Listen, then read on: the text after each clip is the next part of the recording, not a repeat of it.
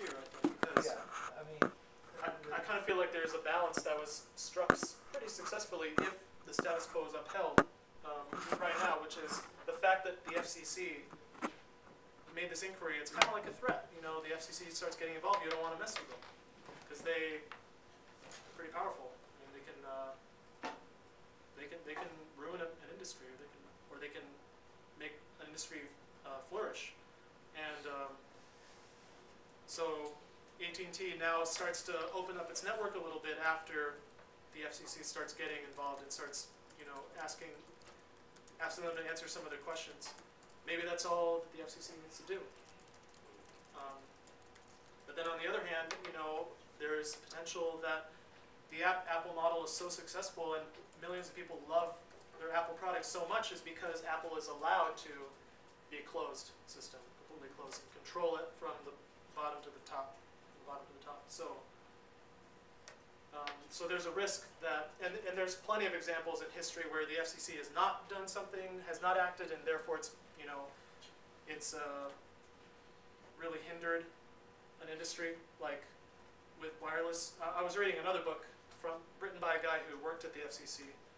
Uh, I forget, it's a Tough Act to Follow, about the 1996 Telecommunications Act. And he says it, it took the FCC so long to come up with some reasonable rules on regulating the wireless spectrum that it really stunted the growth of wireless uh, technology in the United States to the point where in the year 2000, when I was in ninth grade, um, I had my phone. Everyone in Cyprus had a phone. Like in Europe, wireless phone because they standardized quickly and early. Like everyone had a phone. Like even like middle schoolers and stuff. And when I came to the states to visit, like no one my age had a phone. Just just like some adult. Not even not everybody had one. It was um, the, U.S. was really like two or three years behind Europe. And and this author claims that it's because the FCC was um, uh, poorly poorly managing the the development of um, of wireless telephony. So that's so by not acting, it did harm. Uh, but then on the other hand, if it had stepped in and like enforced a, a standard that was no good, then again you're harming. So there's really it is really nuanced. It's like to what extent should the FCC get involved in a certain issue? Well, yeah, the, the thing about, I mean, I think the justification for the FCC was that the uh, spectrum, the wireless, you know, the radio spectrum, uh, was a public good, you know, Right. belonged Right. to the public, and they would lease it to, uh, or, you know, sell the rights to it to various, uh, organizations. And that, a lot of that has changed over the years, the technology has changed so rapidly that Right. the law hasn't been able to keep up. I mean, that's a whole policy question right there, whether the law is adequate to, to deal with the new technologies as the new technologies emerge. A question that, and again, emerging technologies and forbearance, I mean, these are issues that the FCC always has to deal with. And, um, you know, maybe the FCC needs some forbearance on this whole um, mobile application uh, development because literally before the iPhone came out, I mean, it was there was really hardly any mobile market. And if there was one, it was just for the enterprise. It was like Blackberries. Businessmen having their Blackberries, you know, that was kind of like the smartphone market. That was it. But now with the iPhone App Store coming out and it being so easy to use and um, it's like really celebrated device. I mean, it's a multi-billion dollar industry. So now the question is, does the FCC need to put in place some rules to ensure that the continued growth, or does it, should it just step back and um, just make their inquiries every once in a while if something kind of sketchy happens, let, let the consumers decide for themselves if they want to buy into a closed system or, or the Android system or something else. Yeah, well, it's, it's spawned this whole industry of, Right. of, of these apps for the iPhone, but, you know, is that really different than software applications before? I think it might be. It's the, I think the difference is the whole, the way that phones are tightly controlled so much. Like computers, you buy a computer, you do whatever you want with it, you hack it, you can put Linux on the Mac if you want. You you buy a laptop, a PC laptop, you can put whatever system you want on it, like no problem, do whatever you want. But with phones, uh, I guess because they're, they're also kind of fragile, they're not as powerful as computers. They don't have the same kind of battery capacity that a laptop has. They, you can't, you don't plug them into the wall all the time. And so because of that, there's a user experience that is potentially um, user experience that could potentially be really poor if if the hardware if there isn't a lot of coordination and engineering between various manufacturers. So that's I think that's the nuance is that it's not like a computer where you just um, just have your computer and you do what you want with it. With a phone, the user experience um, really matters. I'm always frustrated with the, uh, with the iPod, not the iPhone, whenever there's a flash application, they give you a, put up a, a notice that they won't let flash on the machine. And I've never seen anything written up as to why they are doing that, but it seems like it's the same thing that you're trying to do. They want to tightly control. They they think Yeah. that having flash on the iPod Touch is that what you're talking about? That having flash would um, ruin the experience because it you they say it consumes a lot of power, so it would just it would drain the battery quicker. They they want to be able to claim that, that you can get five hours of talk time on the phone. It's I think it's a whole point the, the whole way that these phones are much more fragile than computers.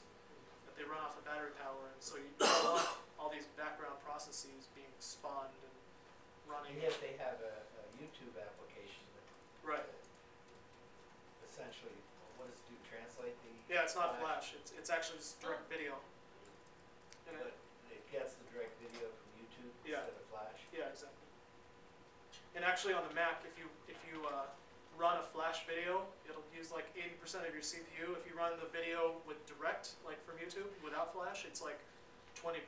So there's an en- enormous uh, there's enormous amount of power consumption involved with Flash. And if iPhones were, if uh, or if cell phones in general were plugged in all the time, then it wouldn't matter. Battery uh, battery life doesn't matter. But because So that's their logic behind that approach. Right. Are there any other, uh, fulcrum issues that you see here? I mean, that's, that's good enough. I mean, as far as the government that's one. And then there's also larger issues that this book raises about tethering and locking, um, you know, locking handsets to their wireless providers. There's a lot of different issues in wireless telephony. So I'm just hoping that with this like really specific background story, with this really specific incident, that I can come up with something. Well, you know, my position is always narrow, not, not broad, but just in your presentation, I'm I'm just asking for the broader picture. Right. You know, the context in which it is. Right. I mean, I don't expect you necessarily to go. Yeah, I know. In, in my presentation, I, I'm lack. I mean, I could have done like a history of telecom uh, uh, regulation and stuff. But you know, I just a- want to get get the juicy stuff out there. Yeah, no, no, I'm, I'm talking about the book. Oh, right, yeah. that the issues that, the book seems, I, I mean, I don't know the book, but it seems to analyze the issues that this raises, that this whole, uh, question raises, or am I Right. wrong? Yeah. And so, you know, it's that context that it's. Other questions? Does anyone have anything else? This is a fascinating topic, Steve, and your title is, you know, very descriptive. But um, I guess my question is a peripheral one. As you did your research, did you come upon any evidence the Justice Department is looking into this as well? There's no evidence that they are, and that's actually something that I think about a lot. Is you know why did they go into why did they um, uh, sue Microsoft? Right. right? And well, part of it is it was a Democratic administration, and now for the last eight years, it's been a Republican administration that made a settlement with Microsoft. So they didn't really, they're th- over the last eight years, they've been, um, they haven't been as uh, like active in in that field in, in antitrust in Right. software, and so there, that could just be a precedent that they're following. You know, don't really raise antitrust issues in software unless I mean unless the iPhone turns out, but we'll see. It never iPhone's never going to be 100% of the market because it's expensive. I mean, you can get a free phone. Any, any provider out there is going to give you a free phone with a two-year contract. Right. And there's always going to be people that want the free phone instead of the $100, $300 phone. So I don't, I don't see Apple ever getting to the point where it's like a absolute mark, um, absolute uh, monopoly. Um, but the whole way that they control the software, I can Right. see. I, uh, I don't really see. I see the FCC because the FCC is charged with dealing with uh, anti anti competitive behavior in telecom. So Right. So I don't really see the Department of Justice getting involved. Brian, did you, you had your hand up before, maybe you forgot, I don't know. Well, my main my main concern with this, if I were writing a paper like this, would be how much literature is available for me to consume on these arguments. Credible, credible literature. I mean, I've read lots Right. of blog posts, but There's like a handful of, um, I went on Google Scholar, typed in iPhone. There's like a there's a handful of articles on like the locking, like the rules between that, the DMCA, uh, locking exceptions, like, or exempt, exemptions. Um, some people are arguing that the DMCA should exempt unlocking a phone as a, um, because, you know, the DMCA, uh, uh, makes it unlawful to provide software that circumvents the protective, uh, soft, you know, so- circumvents the, um, anti, the anti-locking, you know, add restrictions on a phone. So technically, if you unlock your iPhone, you're breaking the DMCA, and so they're making an argument that that should be an exemption. So that's one like legal component to it. And um, but you know, this is such a new issue that it, it takes, you know, from the time you start researching a paper to when it gets submitted to a journal to when it gets published, it's like you know two years or something. So this just happened in the summer. So actually, that's kind of one reason why I chose it. But of course, of course, the, uh, the thing is now people publish everything on the web Yeah, right. anyway before they publish it in the. There's a lot of great like legal logs, um, Yeah. the um, technology law podcasts. They've, they've been discussing this issue. There, there's some, hey, for us to come up on Google Scholar, it took like yeah. two months, man. um, okay, so uh, do you know who J. Alex Halderman is? He's a professor here at the in the computer science department. No. He deals with hacking uh, devices and things like that. You might want to shoot him an email because I think he'd be interested in this. He might know if he's not doing research on the iPhone right now. He he's the guy who's gonna know who it is. So that might help you out. a little bit. Actually, that's, a good- that's very good advice because, uh, when you're dealing with something that's so recent, so current, Right. um, you really want to network a little bit rather than using library resources because they are, they do tend to lag. Right. uh, still, even, although the, the, as I say, the digital materials are often there, uh, of papers that are presented at conferences and things like that, this would be something interesting. I was just curious, uh, just curious about, uh, uh, a technicality that you discussed quite well, but, uh, this whole thing about blocking phones and unlocking phones. Um, I'm not sure that the person who is, wants to unlock the phone is particularly interested in voiding or not voiding the warranty. Mhm. Uh, That, um, what can they do if you unlock a regular phone? Well, there are phones that are linked to networks now that are not iPhones. Right. And you can unlock them, can you then use them on a different network? Yeah. Um, So, yeah. so if the iPhone were unlocked and were used on, let's say Verizon, Well, it couldn't be because it's Verizon uses CDMA so it technology, couldn't be on or Verizon. only T-Mobile. So T-Mobile is the Right. only one that it could be used on Yeah. other than AT&T? Yep. But I think there might be like a few small, um, provide small wireless providers that So are. what, what would be the advantage to the user of doing that? Well, it's really a global thing, you know, so I, I visited Cyprus. Okay, so I bought the iPhone in 2007, and um, I visited Cyprus. I wanted to be able to use my cell phone in Cyprus using my SIM card from my, from my provider in Cyprus. So I unlocked my phone, and then I was able to use it in Cyprus, like as if, you know, like any other phone. So I, I had my Cyprus number on my phone, so because otherwise, if you don't unlock your phone and you go abroad, you gotta pay up the nose for roaming fees. Um, well, yeah, no, those those weren't roaming fees; those were just like international calls. But roaming, it's it's ridiculous. Like you've got to pay like a dollar a minute for a local call. So it's So you were able to unlock your phone and then Yeah. use it locally, yeah, but you had an AT&T account? yeah. So I just took it's a SIM card. You know, like um, if you have a You had to open your phone? Yeah, get you, the you, SIM card on the out? top, you just put a paper clip in, SIM card pops out, you put in your Cyprus SIM card in, and then you're connected to the, you're connected with that account, with the Cyprus account. That's all you had to do to Yeah. the phone? Well, no, unlock you have to actually you have to install software on your computer and interfaces with your phone, and then it it, it uh, like um, basically injects like arbitrary code into your phone so that it can go beyond the restrictions that are in the phone, and it actually um, there's a communication baseband, which is like the, the processor of the cell phone antenna, and that processor is in, you know it's in the firmware of the baseband says only work on AT&T, so you have to hack the firmware. Um, but it's actually pretty, it's not that difficult. You don't have to like run a command in a terminal or anything. You just open a program and um, so it, it's not it's not that hard. It's easy enough for like for me to do it. So then when you came back to the States, did you, uh, hack it back to the then well if it's unlocked then it works anywhere. So I just put the, the old SIM card back in. And it worked on AT&T? Yeah. And in the meantime I was paying my so even though I was out of the country for a couple of weeks, I was still you know paying it, it's not like they prorated me two weeks off my bill.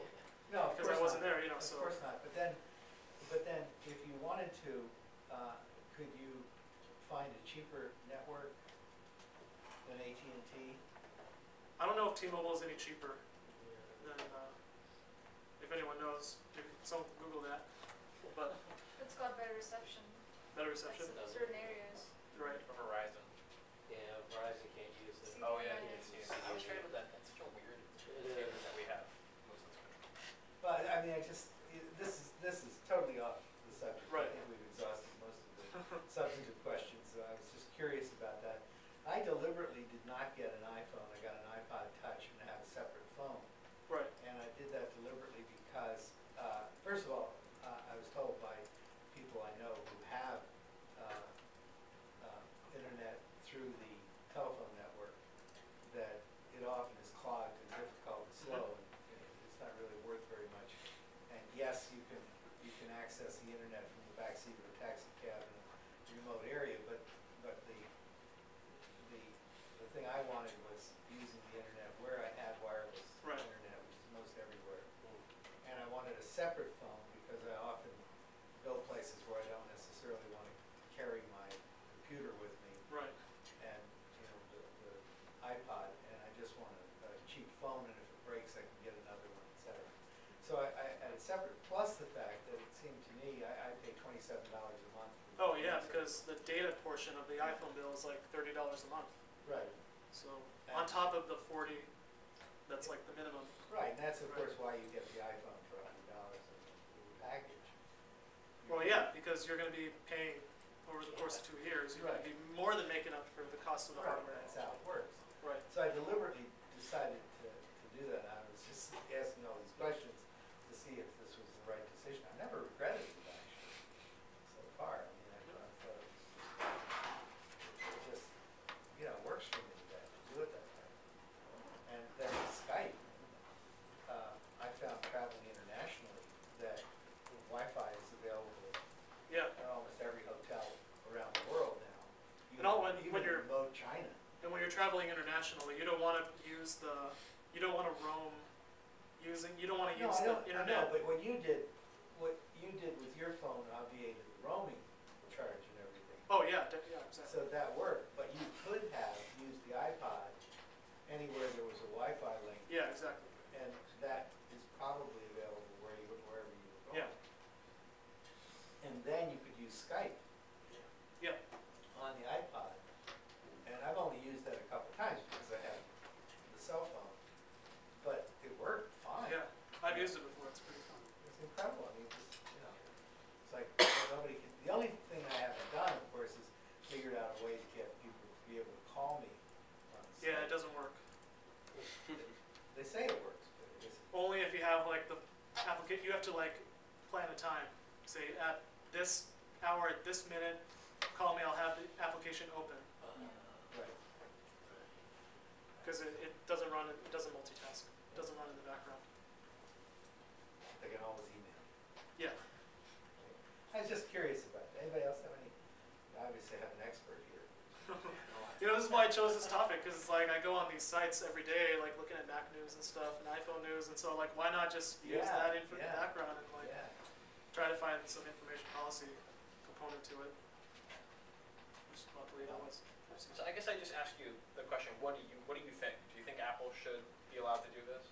What's yours? Yeah, So- you never gave that. You know, it's hard because like I'm such a fanboy. I'm like, you know, those Apple fanboys that you hate that are like, oh, I love the iPhone, can do no wrong. Like I'm one of those, so like it's kind of hard. But um, so thinking more of like an information policy person.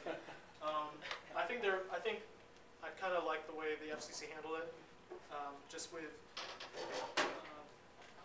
make, you know, putting the putting heat on the fire, like putting uh, some pressure on the companies to do something about it, but not, you know, I would really hate it if, if they actually, um, made, um, you know, forced them to unlock, because then there wouldn't be like those really cheap, I, like, they would lose their leverage to negotiate really low, really high subsidies for the iPhone, and so then me as a consumer, you know, I, I don't have any problem with AT&T, I know a lot of people do, and I don't live in New York City, so maybe that's why I don't, I don't know why, like, you know, I, I, I use it every day on the bus, like I'm like reading the news and stuff, and it works fine.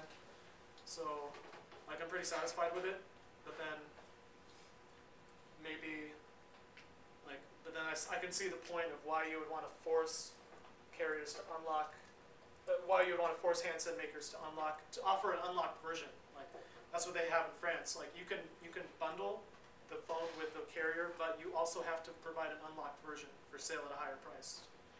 And that's not the law here. And I can see why that would be reasonable, like not reasonable. I can see why that would be like a good thing. But then from when you have so much power in the government, like in the FCC, like you really want to be careful not to kind of ruin something that so far has been such a huge success. Well, the, to what extent do you see the, uh, Google sort of has the open model as opposed to Apple Right. in this, in this structure. Do you see that uh, similar to the IBM PC, you know, in earlier years, the open IBM PC architecture versus the Apple closed architecture that they used? Same. I think the reason why it's not the same is just the price point. Like, I think when the IBM PC was out, it was like thousand, two thousand dollars cheaper than the Mac. So that's probably the reason why most people bought it. And um, whereas the iPhone actually is priced pretty competitively. I mean, if you want to buy like a, well, actually nowadays, if you want to get like a BlackBerry or something, you can get them for free. But hundred dollars is not an unreasonable amount of money to spend up front on, on a phone if you think it's really cool. So I think, and the market share numbers kind of speak that as well, the fact that it's number two. Um, but so you're asking like, if you think in the long run it's going to hurt Apple to, see, I don't think they really see they want to make money. Like I don't think they really care if they have if they're the number one uh, cell phone platform. I think what they care is like they're making billions of dollars of profit every single quarter, and they have a really high satisfaction rate, and which they do. Um, Well, if you look historically, I mean, it took, it took Apple years to sort of, uh, you know, close the gap between the, uh, between the PC and the Mac. I mean, for years, they were less than ten percent of the market, yeah. and less than ten percent market share. Uh, and, and they weren't, you know, there were times when they weren't really making very much money either, I mean, they were Right. really not doing very well. So there was a period of time when, when you would argue, couldn't make that argument that market share speaks for itself, or profit speaks for itself. Right. That you would have to say that their policy was wrong. And then eventually, uh, I, I don't know, I think, I think they really did, uh, improve their products to the point and, and, and change their business model in such a way that they became very successful. Uh, and their market share, I think, has risen su- substantially against the PC. And IBM is history. They Right. sold, they sold their operation to Lenovo. So, you know, it's, it interests me, you're, you're really talking about business models here, in fact, that's what your second point is. Right. Whether, whether that, you know, how that's gonna shake out, but I guess nobody really knows that. You know, you can't really tell. You know, I think Google's I a think very powerful company. this too. Android platform is probably going to uh, rise very quickly because it's only in, in its infancy right now, Right. and it doesn't have all the capabilities that you would expect of it. Like I was reading, I was going to Wikipedia and just reading some of the basic features of Android, and there was like a criticism section, and it said like doesn't have this Bluetooth capability, doesn't have. So I mean, like it can make a lot of improvements, and they will. And um, the fact that T-Mobile has it, like the Android platform. T-Mobile, Sprint. Uh, I don't know about Sprint, but uh, Verizon, and uh, actually AT&T is going to launch uh, an Android-based phone in 2010. So I mean, I think they're going to probably write like Android phones are going to be more successful, but Google doesn't really make money from selling from selling. It's an open platform, so Google's not really in the business of making money from selling software in that way. They make money from advertising, from search, and from uh, providing Well, services that, that- people That's true, use. but I think their, I think their phone division is trying to make money on the phone. Yeah, I think yeah, they're selling their phone as a Google branded phone, but um, I mean, that's not like at the core. I mean, if you saw their Super Bowl ad, like that's not at the core what they're trying to do. Like at the core, they're trying to create great web-based products that and advertise and generate advertising revenue, uh, revenue from that. Not so sure that they're and you know provide an operating system for phones. Um, for the majority of phones, but I'm not so sure that they're out to, I mean, uh, out to take over the world, I mean, maybe. I don't they got some